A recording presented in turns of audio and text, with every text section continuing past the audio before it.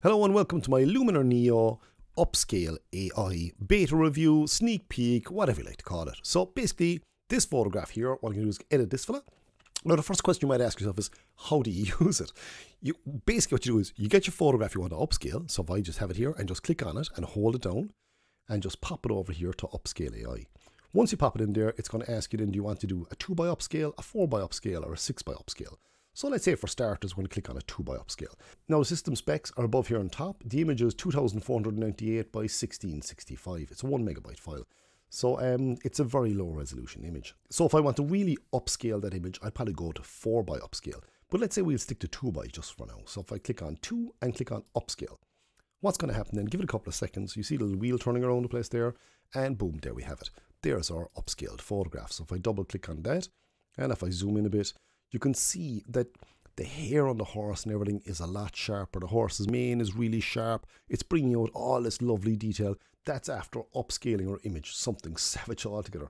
Now, the resolution at the moment is 4996 by 3330. So that's over a 15 megapixel photograph.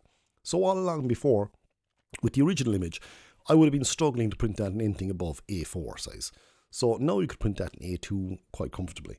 Um, no, so let's go and let's have a look at what else we can do. So if I go back to catalog, and sorry, the other thing I should mention is as soon as you click on upscale, as soon as you click on the upscaling, it's going to open out a separate folder here called upscale, and in that folder is our image then itself. If I go back to the one I've called Neo Edits here now, so that's our original image again, 2498 by 1665. Drag and drop it over here to upscale AI again, and if I click on 4 by and click on upscale, that then is going to upscale that image again and then pop it into the upscale folder. So give it a couple of seconds and there we go. So this is our original image, or not original, this is our 2 by upscale, which is at 4996 by 3330. This is our new one, which is 9992 by a crazy 6660. So that is, that that's, I work out the maths in my head, that's like, that's, that's nearly 60 megapixel photograph. So I mean, you know, that, that is going to give you fantastic printing abilities. So if I just double click on that there now, and if I zoom in a bit, um, you can see there now, even zoomed in a good bit there now, I'm at 49%. That, that looks really good. That looks really good. There's some lovely detail in the grass there too as well, and then the horse looks really good.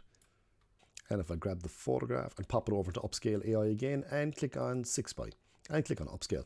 And that's basically all you have to do. Just select your resolution, click on Upscale, and bang, there you go. So that is upscaling, upscaling, upscaling, upscaling, and it should be there now fairly soon. The reason why it's taking so long is because look at the resolution.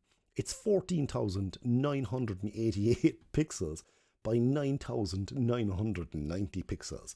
That is absolutely ridiculous. Now, when you consider the size of this photograph originally, that's nuts. You know, that is that is nuts. That really is nuts. So zoomed in quite a bit there now again, you can actually see that that is that is after pulling out some lovely detail there now again. So it's, and again in the grass too as well and whatnot. Like the horse's nose, that is actually quite smooth there too as well. So that is, and hair and whatnot. If you look at that there, if I go back to the original image, sorry, I don't know, a second. If I just pop back to the original image, um, which is this filly here now, that's zoomed in on the original image there now. You can see the horse's hair is not that sharp. Any of that isn't that sharp. The horse itself is a bit blurred. The ears and everything else, the hair up along there is isn't great either, being honest. Whereas if I go back to upscale and if I click on the latter one, and if I zoom in on that, give it a couple of seconds, it is zooming in, and boom, there we have it. Look at that detail. Look at the detail there. That is absolutely fantastic. So here I have a direct side-by-side -side comparison. You see the original above and top and the 6 by upscale image underneath. It's 6 times the resolution and it's sharper. And you'll also notice there are a few slight artifacts in the image there. Those artifacts are actually in the original too as well. So if I go back to the original, and open that out long and zoom in on that, you will actually see there's a bit of haloing there too as well, and a bit of digital noise and whatnot on that so it's it's on the original, that's why it's in the enlarged photographs. So yeah, that's basically it. I'm going to be posting up a far more detailed review of this once the finalised version has been given to me. Until then, uh, take care and see you out there.